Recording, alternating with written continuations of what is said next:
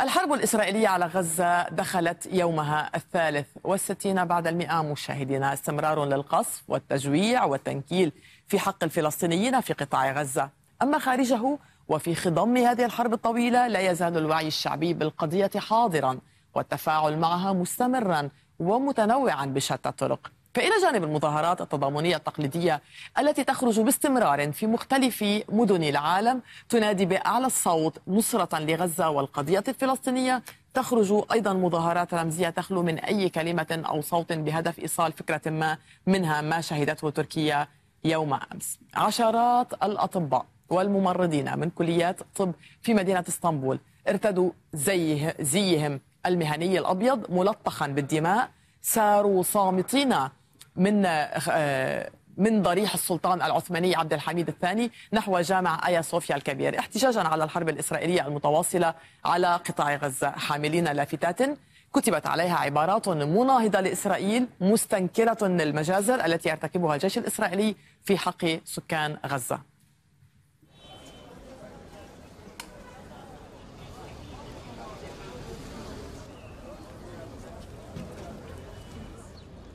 Sabır yağ. Ayaklarımızı sağlam kıl. Sağ. Allah'ım onların sayıları ey Rabbimiz bize bizden öncekileri yüklediğin gibi adalete ve merhamete çağırmayı bizlere nasip et. Yüce İslam'a من اسطنبول إلى ولاية كاليفورنيا الأمريكية حيث قررت مجموعة من النشطاء إرسال رسالة تطالب بوقف إطلاق النار في غزة عن طريق تجسيد المجازر التي ارتكبتها إسرائيل في حق أطفال غزة منذ السابع من أكتوبر الفائت بطريقة لافتة ومؤثرة. فعلى طول شاطئ مقاطعة سانتا كروز في كاليفورنيا امتد خط ملابس مؤلف من 13 ألف قطعة على طول ثلاثة أميال من الشاطئ. أما عن سبب وجود 13 ألف قطعة تحديدا فهو عدد الأطفال الذين قتلوا في غزة تقريبا حتى الآن مشاهدينا ذلك المشهد على أحد شواطئ كاليفورنيا خلف تفاعلا واسعا على وسائل التواصل الاجتماعي. المدونة مليكة تقول إن موت كل هؤلاء الأطفال يحدث والعالم كله يشاهد المجازر الإسرائيلية ضد الأطفال. أحسنتم في تنظيم هذا النصب المؤثر للغاية. أما المدون ديلان فعلق قائلا 13 ألف طفل في غزة قتلوا قتلتهم إسرائيل. هذه ليست صدفة. هناك إبادة جماعية مستمرة وعلينا جميعا.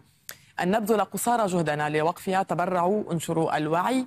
تحدثوا مع أصدقائكم وعائلاتكم. قاطعوا أولئك الذين يدعمون الاحتلال الإسرائيلي.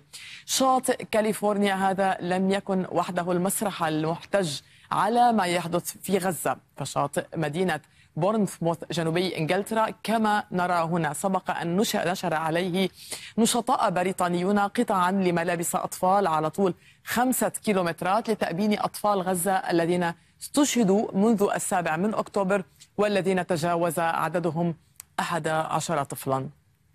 كذلك مشاهدينا حاكت رمال شاطئ كوباكابانا في مدينة ريو دي جانيرو البرازيلية جثث الفلسطينيين الذين استشهدوا في أعقاب القصف الإسرائيلي على قطاع غزة حيث وضع ناشطون أكفانا وأعلاما فلسطينية ووردة حمراء اللون تكريما لهؤلاء الشهداء الذين استشهدوا في غزة منذ اندلاع الحرب.